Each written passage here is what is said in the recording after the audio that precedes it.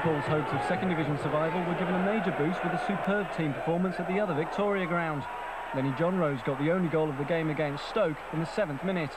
The pool's hero was goalkeeper Martin Hodge. He saved a penalty and pulled off a string of vital stops to keep out the table toppers. Turn from injury.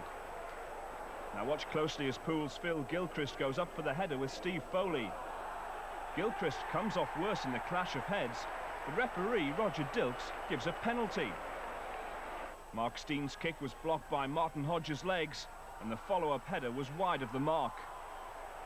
Hartlepool took the lead into the break and held on to it thanks to a couple of cracking saves by the keeper. Hodge at full stretch to deny Foley, who couldn't believe his luck. And then when this corner wasn't cleared, he had to be on top form to push Stein's header past the post. Pool were living dangerously.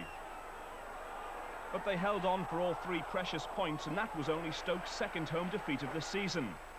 The win takes Busby's boys out of the relegation zone, but only just. Let's hope